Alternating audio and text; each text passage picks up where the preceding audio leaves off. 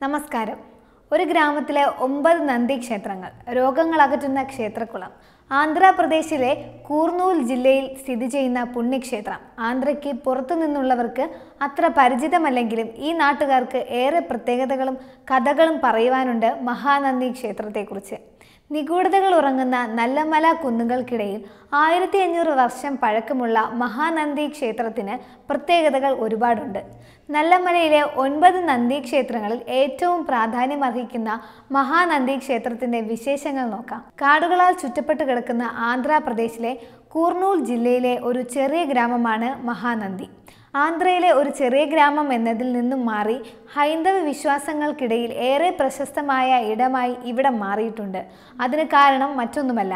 പതിനഞ്ച് കിലോമീറ്ററിലെ ഒൻപത് നന്ദി ക്ഷേത്രങ്ങൾ മഹാനന്ദി ഗ്രാമത്തിന് പതിനഞ്ച് കിലോമീറ്റർ ചുറ്റളവിലായി ഒൻപത് നന്ദി ക്ഷേത്രങ്ങളാണ് കാണുവാൻ സാധിക്കുക. മഹാനന്ദി ശിവനന്ദി വിനായകനന്ദി സോമനന്ദി ഗരുഡനന്ദി സൂര്യനന്ദി കൃഷ്ണനന്ദി അഥവാ വിഷ്ണുനന്ദി നാഗനന്ദി എന്നിങ്ങനെയാണ് ഒൻപത് നന്ദി ക്ഷേത്രങ്ങളുടെയും പേരുകൾ. നവനന്ദി എന്നാണ് ഈ ക്ഷേത്രങ്ങളെ ഒരുമിച്ച് വിശേഷിപ്പിക്കുക. ഈ ഒൻപത് ക്ഷേത്രങ്ങളിൽ നമ്മുടെ മഹാനന്ദി ഗ്രാമത്തിൽ സ്ഥിതി ചെയ്യുന്ന ക്ഷേത്രമാണ് മഹാനന്ദി ക്ഷേത്രം. മഹാനന്ദീശ്വര ക്ഷേത്രം എന്നും അറിയപ്പെടുന്നു. കാടുകൾക്കുള്ളിലെ ഗ്രാമത്തിൽ സ്ഥിതി ചെയ്യുന്ന ഈ ക്ഷേത്രത്തിന് ചരിത്രപരമായും വിശ്വാസപരമായും പ്രത്യേകതകൾ ഒരുപാടുണ്ട്. ഏകദേശം ആയിരത്തഞ്ഞൂറ് വർഷത്തിലധികം പഴക്കമുണ്ട് ഈ ക്ഷേത്രങ്ങൾക്ക് എന്നാണ് പറയപ്പെടുന്നത്. ഇവിടെ നിന്നും കണ്ടെടുത്ത പത്താം നൂറ്റാണ്ടിലെ ലിഖിതങ്ങൾ അനുസരിച്ച് എണ്ണമറ്റ തവണ ഈ ക്ഷേത്രം പുനർനിർമ്മാണത്തിനും പുനരുദ്ധാനത്തിനും വിധേയമായിട്ടുണ്ടത്രേ. ഒരുപാട് പ്രത്യേകതകളുണ്ടെങ്കിലും എടുത്തു പറയേണ്ട ഒന്ന് ഇവിടുത്തെ ശുദ്ധ ജലാശയമാണ്.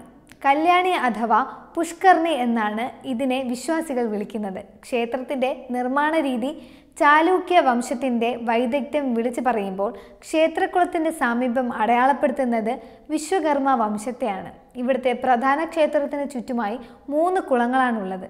ഇവിടുത്തെ നിർമ്മാണ രീതികൾ ആരെയും അത്ഭുതപ്പെടുത്തുന്ന വിധത്തിലുള്ളതാണ്. പ്രധാന ക്ഷേത്രത്തിന് സമീപം മൂന്ന് കുളങ്ങളാണുള്ളത്. കവാടത്തിനരികിലായി തന്റെ ആദ്യ രണ്ട് കുളങ്ങൾ കാണാം. അടുത്ത കുളത്തിലേക്ക് കടക്കുവാൻ ക്ഷേത്രത്തിനുള്ളിലൂടെ വേണം പോകുവാൻ. സവിശേഷമായ രീതിയിൽ നിർമ്മിച്ചിരിക്കുന്നതിനാൽ പ്രധാന കുളത്തിലേക്ക് എല്ലായ്പ്പോഴും അഞ്ചടി ആഴത്തിൽ വെള്ളം കാണും. അറുപത് സ്ക്വയർ ഫീറ്റിലുള്ള ക്ഷേത്രത്തിൽ വിശ്വാസികൾക്ക് ഇറങ്ങുവാനും സ്നാനം നടത്തുവാനും സൗകര്യമുണ്ട്. എന്നാൽ അഞ്ചടി ഉയരത്തിൽ വെള്ളം നിൽക്കുന്നതിനാൽ അഞ്ച് മണിക്കൂറിന് ശേഷം ഇതിലേക്ക് ആളുകളെ പ്രവേശിപ്പിക്കാറില്ല. ഇതിന്റെ മറ്റൊരു പ്രത്യേകത എന്ന് പറയുന്നത് ഏത് സീസണിലാണെങ്കിലും ഇതിനെ വെള്ളത്തിന്റെ അളവിന് ഒരു മാറ്റവും സംഭവിക്കില്ല എന്നതാണ്. ക്ഷേത്രക്കുളത്തിലെ വെള്ളം ഇവിടുത്തെ ശിവലിംഗത്തിൽ നിന്നും ഉത്ഭവിക്കുന്നതാണെന്നാണ് വിശ്വാസം. ശ്രീകോവിലിനുള്ളിലെ ശിവലിംഗത്തിന് താഴെ നിന്നാണ് ഇതിന്റെ ഉറവ പൊട്ടുന്നത്. ഇവിടെ ശിവലിംഗത്തിൽ കൈകൾ വെച്ച് പ്രാർത്ഥിക്കുവാനും സൗകര്യമുണ്ട്. ഇങ്ങനെ ചെയ്യുമ്പോൾ ഈ ഉറവയിൽ സ്പർശിക്കുവാനും സാധിക്കും.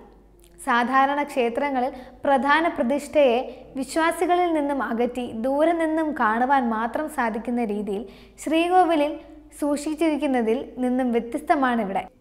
ഭൂമിശാസ്ത്രപരമായ ഒട്ടേറെ പ്രത്യേകതകൾ ഈ കാടിനുണ്ട്. പൂർവഘട്ടത്തിന്റെ ഭാഗമായ കുന്നുകളാണ് നല്ല മലക്കാടുകൾ ആയിരത്തി ഒരുന്നൂറ് മീറ്റർ വരെ ഉയരമുള്ള മലകൾ ഇവിടെ കാണാം. അഞ്ച് ചിരഞ്ജീവികളിൽ ഒരാളായ അശുദ്ധാത്മാവിന്റെ പേരിൽ ഭാരതത്തിൽ ഒരു ക്ഷേത്രം മാത്രമേ ഉള്ളൂ. അതിപുരാതനമായ ഇത് നല്ലമല കാടുകൾക്കുള്ളിലാണത്രേ. അതുകൂടാതെ ശിവന്റെ അപൂർവമായ പന്ത്രണ്ട് ക്ഷേത്രങ്ങളും ഈ കാട്ടിലുണ്ട്. ഏറ്റവും അടുത്തുള്ള റെയിൽവേ സ്റ്റേഷൻ നന്ദ്യാലിയാണ്. നന്ദ്യാലിയിൽ നിന്നും പതിനേഴ് കിലോമീറ്റർ ദൂരമുണ്ട് ഗ്രാമത്തിലേക്ക്. വെബ് ഡെസ്ക് തത്വമൈ ന്യൂസ്.